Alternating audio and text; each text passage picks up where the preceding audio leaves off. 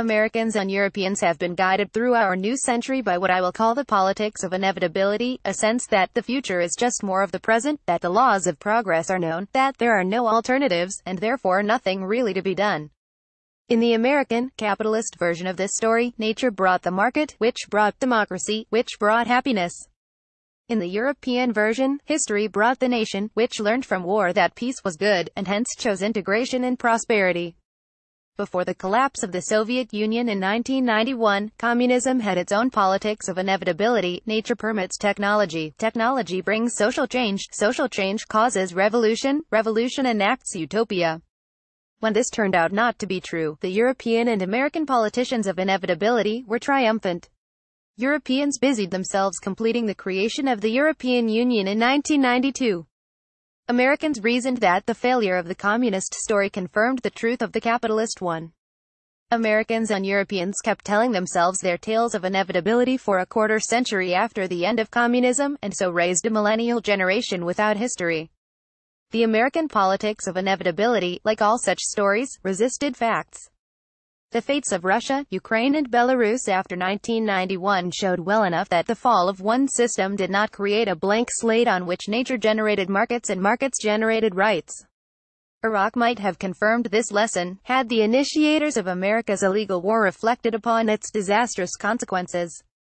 The financial crisis of 2008 and the deregulation of campaign contributions in the U.S. in 2010 magnified the influence of the wealthy and reduced that of voters. As economic inequality grew, time horizons shrank, and fewer Americans believed that the future held a better version of the present. Lacking a functional state that assured basic social goods taken for granted elsewhere, education, pensions, healthcare, transport, parental leave, vacations, Americans could be overwhelmed by each day, and lose a sense of the future.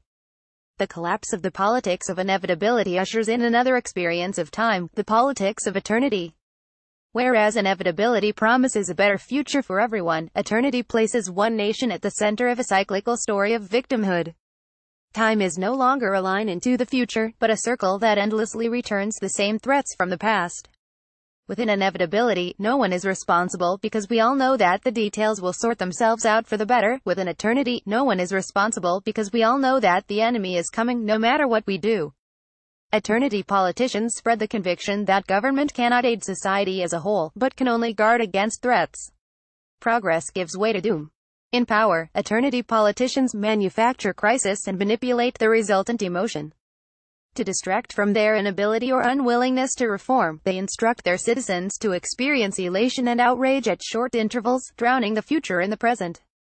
In foreign policy, eternity politicians belittle and undo the achievements of countries that might seem like models to their own citizens. Using technology to transmit political fiction at home and abroad, eternity politicians deny truth and seek to reduce life to spectacle and feeling. Inevitability and eternity translate facts into narratives. Those swayed by inevitability see every fact as a blip that does not alter the overall story of progress. Those who shift to eternity classify every new event as just one more instance of a timeless threat. Each masquerades as history, each does away with history. Inevitability politicians teach that the specifics of the past are irrelevant, since anything that happens is just grist for the mill of progress. Eternity politicians leap from one moment to another, over decades or centuries, to build a myth of innocence and danger. They imagine cycles of threat in the past, creating an imagined pattern that they realize in the present by producing artificial crises and daily drama.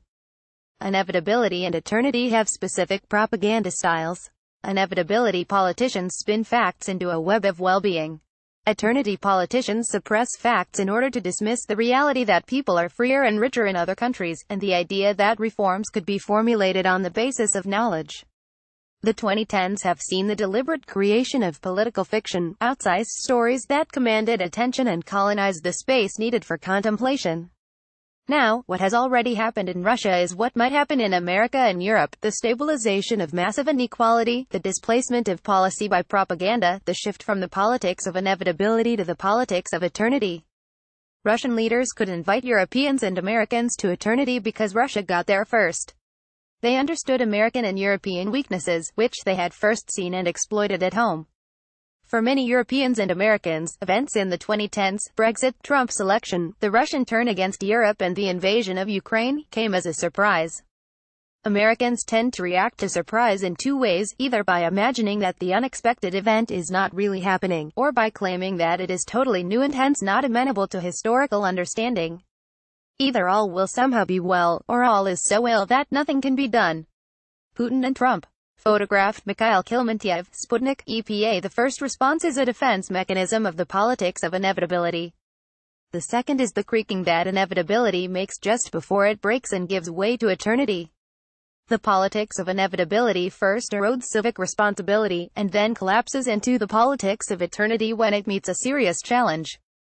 Americans reacted in these ways when Russia's candidate became president of the U.S. In the 1990s and in the 2000s, influence flowed from west to east, in the transplant of economic and political models, the spread of the English language, and the enlargement of the EU and NATO. Meanwhile, in regulated spaces of American and European capitalism summoned wealthy Russians into a realm without an east-west geography, that of offshore bank accounts, shell companies, and anonymous deals, where wealth stolen from the Russian people was laundered clean. Partly for this reason, in the 2010s influence flowed from east to west, as the offshore exception became the rule, and Russian political fiction penetrated beyond Russia. The politics of inevitability is the idea that there are no ideas. Those in its thrall deny that ideas matter, proving only that they are in the grip of a powerful one. The cliché of the politics of inevitability is that there are no alternatives. To accept this is to deny individual responsibility for seeing history and making change. Life becomes a sleepwalk to a pre-marked grave in a pre-purchased plot. Eternity arises from inevitability like a ghost from a corpse. The capitalist version of the politics of inevitability, the market as a substitute for policy, generates economic inequality that undermines belief in progress. As social mobility halts, inevitability gives way to eternity, and democracy gives way to oligarchy. An oligarch spinning a tale of an innocent past, perhaps with the help of fascist ideas, offers fake protection to people with real pain. Faith that technology serves freedom opens the way to his spectacle. The oligarch crosses into real politics from a world of fiction, and governs by invoking myth and manufacturing crisis. In the 2010s, one such person, Vladimir Putin, escorted another, Donald Trump, from fiction to power. After mastering the politics of eternity at home, Russian leaders protected themselves and their wealth by exporting it. It was not so much elections as fictions that allowed a transition of power from Boris Yeltsin to Vladimir Putin, a decade after the end of the Soviet Union. Democracy never took hold in Russia, in the sense that power never changed hands after freely contested elections. Yeltsin was president of the Russian Federation because of an election that took place when Russia was still a Soviet republic, in June 1991.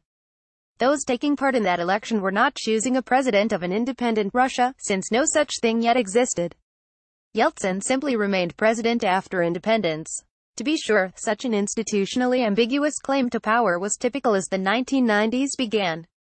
As the Soviet Empire in Eastern Europe and then the Soviet Union itself came apart, various backroom compromises, roundtable negotiations, and partly free elections generated hybrid systems of government. Other post-communist states, free and fair presidential and parliamentary elections quickly followed. The Russian Federation managed no election that might have legitimated Yeltsin or prepared the way for a successor. The wealthy few around Yeltsin, christened the oligarchs, wished to manage democracy in his favor and theirs. The end of Soviet economic planning created a violent rush for profitable industries and resources and inspired arbitrage schemes, quickly creating a new class of wealthy men. While privatization was not at all the same thing as a market economy, at least as conventionally understood. Markets required the rule of law, which was the most demanding aspect of the post-Soviet transformations. Americans, taking the rule of law for granted, could fantasize that markets would create the necessary institutions. This was an error. It mattered whether newly independent states established the rule of law and, above all, whether they managed a legal transition of power through free elections.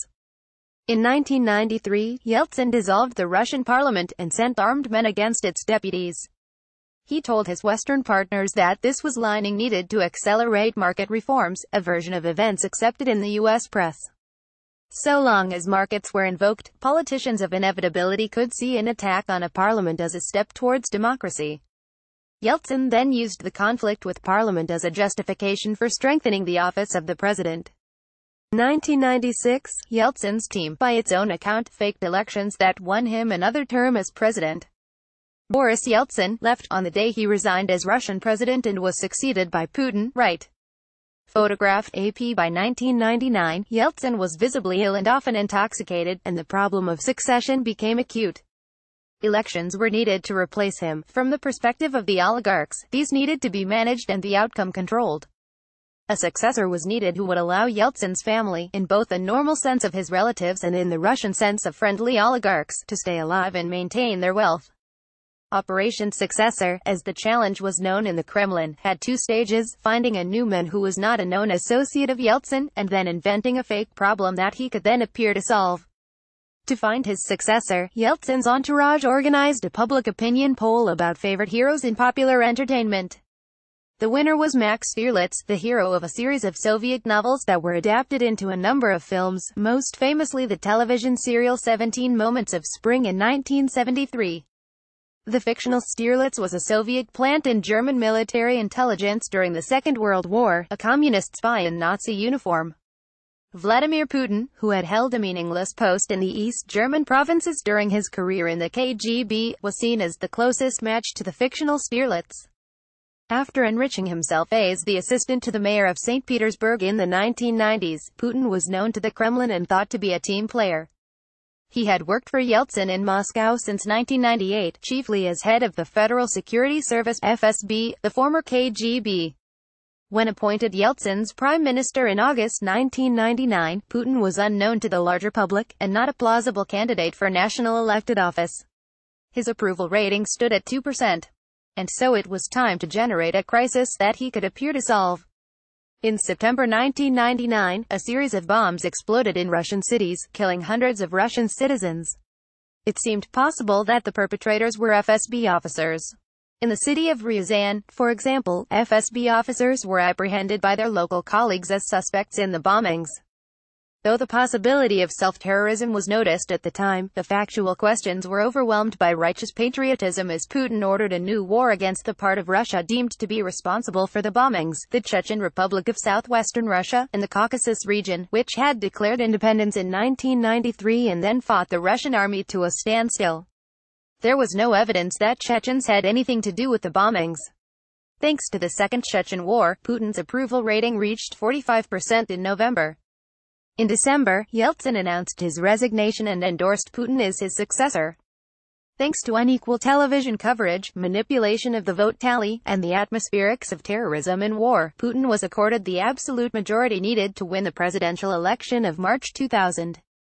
The ink of political fiction is blood. On the 4th of December 2011, Russians were asked to grant Putin's party, United Russia, a majority in the lower house of the Russian parliament. This was a special moment, since Dmitry Medvedev, then president, and Putin, then prime minister, had already announced that they intended to switch jobs. Once their party won the parliamentary elections and once Putin won the presidential elections of the coming March, Medvedev would serve Putin as prime minister. Many Russians found the prospect of eternal Putin unappealing. After the global financial collapse of 2008, Russian growth had slowed. Neither Putin nor Medvedev offered a program that would alter Russia's dependence on commodity exports or offer the prospect of social mobility. Thus many Russians saw these elections as the last chance to prevent stagnation, and voted accordingly. By the reckonings of independent Russian electoral observers, United Russia won about 26% of the vote. The party was nevertheless accorded enough votes to control a majority in parliament. Russian and international observers criticized unbalanced media coverage, and physical and digital manipulation of the vote. Nick Griffin, the leader of the British National Party and a Holocaust denier, was present as a regime-friendly observer. He declared the Russian elections much fairer than Britain's. On the 5th of December, the protests began. On the 10th of December, some 50,000 people gathered in Moscow. On the 24th of December, the figure grew to 80,000. Russians gathered in 99 cities over the course of the month, in the largest protests in the history of the Russian Federation. The main slogan was, for free elections. The fakery was repeated during the March 2012 presidential elections. Putin was accorded the majority that he needed to be named president after one round of balloting. This time, most of the electoral manipulation was digital rather than manual. Tens of millions of cyber votes were added, diluting the votes cast by human beings, and giving Putin a fictional majority. In some districts, Putin was accorded votes in round numbers, suggesting that targets set by central authorities had been understood literally by local officials. In Chechnya, Putin was accorded 99.8% of the ballots. The figure likely reflected the total control exercised by his Chechen ally Ramzan Kadyrov. Putin received similar tallies in mental hospitals and in other places subject to state control. In Novosibirsk, protesters complained that vote counts totaled 146% of the population. Once again, independent Russian and international observers noted the irregularities. And once again, regime-friendly foreigners from the far right endorsed the results. Putin addressing a rally of supporters in Moscow before the 2012 presidential elections. Photograph, Yuri Kadobnov, AFP, Getty Images On 5 March 2012 in Moscow, some 25,000 Russian citizens protested the falsified presidential elections. For Putin himself, these months between December 2011 and March 2012 were a time of choice. He might have listened to criticisms of the parliamentary vote. He might have accepted the outcome of the presidential ballot and won in the second round of voting rather than in the first. To win on the first ballot was a point of pride, nothing more. He might have understood that many of the protesters were concerned about the rule of law and the principle of succession in their country. Instead, he seemed to take personal offense. Putin chose to regard the transient illusion of winning on the first ballot as more important than law, and his own hurt feelings as more important than the convictions of his fellow citizens. Putin casually accepted that there had been fraud. Medvedev helped he added that all Russian elections had been fraudulent. By dismissing the one person, one vote principle while insisting that elections would continue, Putin was disregarding the choices of citizens while expecting them to take part in future rituals of support. A claim to power was staked, he who fakes wins. If Putin came to the office of president in 2000 as a mysterious hero from the realm of fiction, he returned in 2012 as the vengeful destroyer of the rule of law. Putin's decision to steal the election under his own spotlight placed Russian statehood in limbo. His accession to the office of president in 2012 was, therefore, the beginning of a succession crisis. Since the man in power was also the man who had eliminated the future, the present had to be eternal. In 1999 and 2000, the Kremlin had used Chechens as the necessary enemy. Chechnya had now been defeated, and the Chechen warlord Kadyrov became an important member of Putin's regime. After the fakery of 2011 and 2012, the domestic political emergency was permanent, and so the enemy had to be as well. Some intractable foreign foe had to be linked to protesters, so that they, rather than Putin himself, could be portrayed as the danger to Russian statehood. Protesters' actions had to be uncoupled from the very real domestic problem that Putin had created, and associated instead with a fake foreign threat to Russian sovereignty. The politics of eternity requires and produces problems that are insoluble because they are fictional. For Russia in 2012, the fictional problem became the designs of the European Union and the US to destroy Russia. Leonid Brezhnev's permanent enemy, the decadent West, had returned, but this time the decadence would be of a more explicitly UAL variety. Putin's favorite philosopher, Ivan Ilyin, had described opposition to his views as UAL perversion, by which he meant homoequality. A century later, this was also the Kremlin's first reaction to democratic opposition.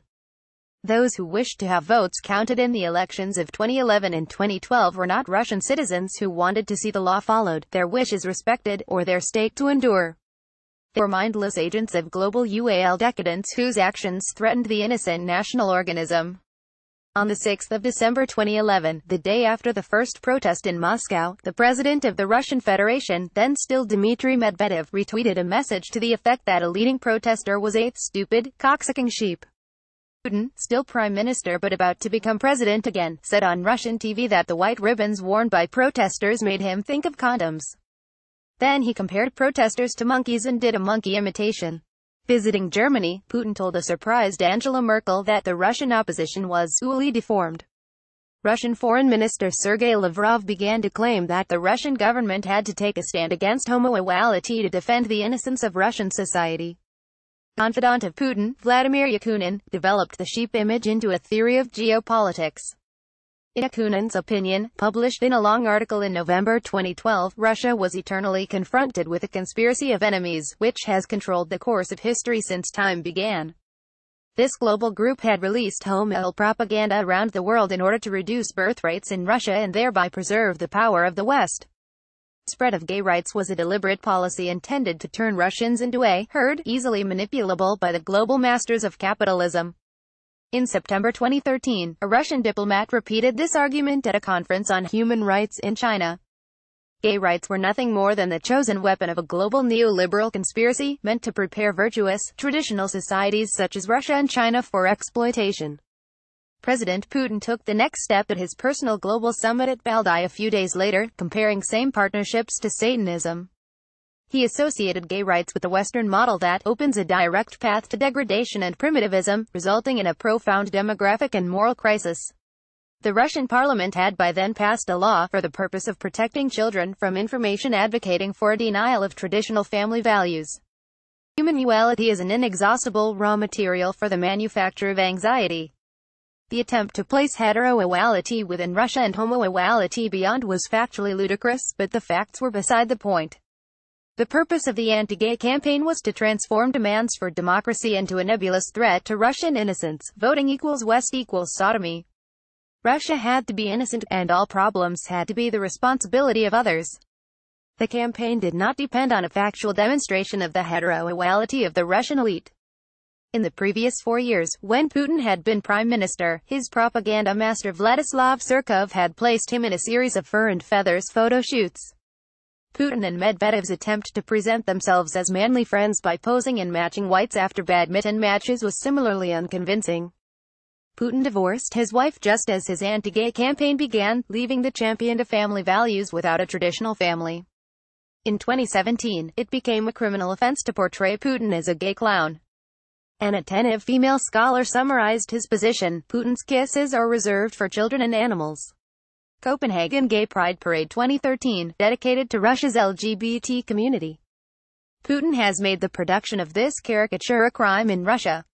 Photograph, BYMCA, Rex Shutterstock Putin was offering masculinity as an argument against democracy. As the German sociologist Max Weber argued, charisma can initiate a political system, but can't guarantee its continuity. It is normal, Weber observed, to form a political and commercial clan around a charismatic leader. But if that man wishes to go beyond redistributing the plunder and planning the next raid, he must find a way to transfer his authority to someone else, ideally by a means that will allow it to be transferred again. Solving this problem of succession is the precondition of establishing a modern state. Weber defined two mechanisms that would allow a burst of charisma to become durable institutions, through custom, as in a monarchy where the eldest son succeeded the father, or through law, as in a democracy, where regular voting allows parliaments and rulers to be replaced. Putin did not seem to be planning a monarchical succession. He has kept his daughters at a distance from public politics, although the family did benefit from crony capitalism. The logical possibility that remains is law, which in the modern world usually means democracy. Putin himself dismissed this alternative. And so the display of masculinity provided a semblance of power at the expense of Russia's integrity as a state. If the Kremlin's first impulse was to associate democratic opposition with global sodomy, its second was to claim that protesters worked for a foreign power, one whose chief diplomat was female, the U.S. On the 8th of December 2011, three days after the protests began, Putin blamed Hillary Clinton for initiating them, she gave the signal. On the 15th of December, he claimed that the demonstrators were paid. Evidence was not provided, but that was not the point. The point was to choose the enemy that best suited a leader's needs, not one that actually threatened the country. Indeed, it was best not to speak of actual threats, since discussing actual enemies would reveal actual weaknesses and suggest the fallibility of aspiring dictators. The West was chosen as an enemy precisely because it represented no threat to Russia. Unlike China, the EU had no army and no long border with Russia. The US did have an army, but had withdrawn the vast majority of its troops from the European continent, from about 300,000 in 1991 to about 60,000 in 2012. NATO still existed, and had admitted former communist countries of Eastern Europe. But Barack Obama had cancelled an American plan to build a missile defense system in Eastern Europe in 2009, and in 2010 Russia was allowing American planes to fly through Russian airspace to supply U.S. forces in Afghanistan. No Russian leader feared a NATO invasion in 2011 or 2012, or even pretended to. In 2012, American leaders believed they were pursuing a reset of relations with Russia. When Romney referred to Russia as America's number one geopolitical foe in March 2012, he was ridiculed. Almost no one in the American public or media was paying attention to Moscow. Russia did not even figure in American public opinion polls about global threats and challenges. The EU and the US were presented as threats because Russian elections were faked. In winter 2011 and spring 2012, Russian television channels and newspapers generated the narrative that all who protested electoral fraud were paid by Western institutions. Under the headline, Putin proposes tougher punishment for Western stooges, the newspaper Novaya Izvestia reported Putin's professed belief that the Russian opposition forces began mass protests after the go-ahead given by U.S. Secretary of State Hillary Clinton. The association between opposition and treason was axiomatic, the only question that of the appropriate punishment. Precisely because Putin had made the Russian state vulnerable, he had to claim that it was his opponents who had done so. Since Putin believed that it would be inadmissible to allow the destruction of the state to satisfy this thirst for change, he reserved for himself the right to define views that he did not like as a threat to Russia. After 2012, there was no sense in imagining a worse Russia in the past and a better Russia in the future, mediated by a reforming government in the present. The enmity of the US and EU had to become the premise of Russian politics. Putin had reduced Russian statehood to his oligarchical clan and its moment. The only way to head off a vision of future collapse was to describe democracy as an immediate and permanent threat. Having transformed the future into an abyss, Putin had to make flailing at its edge look like judo. In 2012, Putin made it clear that he understood democracy as ritualized support for his person. It meant, as he informed the Russian parliament in his annual address for that year, compliance with and respect for laws, rules, and regulations. Individual Russians had no right to protest against the anti-democratic actions of their government, on Putin's logic, since democracy required them to align their souls with laws that banned such protests. Putin at a shooting gallery in Moscow. Photograph Itar TASS Reuters libel was made a criminal offense. A law that banned insults to religious sensitivities made the police the enforcer of an orthodox public sphere. It became a crime to publish cartoons of Jesus or to play Pokemon Go in a church. The authority and budget of the FSB were increased, and its officers granted broad authority to shoot without warning. A new FSB unit was named after Felix Dzerzhinsky, the founder of the Cheka, the predecessor of the KGB and FSB. The definition of treason was expanded to include the provision of information to non-governmental organizations beyond Russia, which made telling the truth over email a high crime. Undefined extremism was outlawed. NGOs deemed to work against Russia's interests were banned. Those that had received funding from abroad, a very general notion that included any form of international cooperation, such as holding a conference, were required to register as foreign agents. On the morning the foreign agent law went into effect, graffiti appeared on the headquarters of NGOs across Moscow, reading, Foreign Agent USA. One target was Memorial, a storehouse of materials on the history of Russia in the 20th century. Russia's own past became a foreign threat. Memorial had documented the suffering of Soviet citizens, including Russians, during the Stalinist period. Of course, if all of Russia's problems came from the outside, there was little sense in dwelling on such matters. The politics of eternity destroys history. No doubt the Russian state can still be maintained, for a time, by elective emergency and selective war. The very anxiety created by the lack of a succession principle can be projected abroad, creating real hostility and thus starting the whole process anew. In 2013, Russia began to seduce or bully its European neighbors into abandoning their own institutions and histories. If Russia could not become the West, let the West become Russia. If the flaws of American democracy could be exploited to elect a Russian client, then Putin could prove that the world outside is no better than Russia. Were the EU or the US to disintegrate during Putin's lifetime, he could cultivate an illusion of eternity. This is an adapted extract from The Road to Unfreedom, Russia, Europe, America by Timothy Snyder, which will be published by Bodley Head on the 5th of April.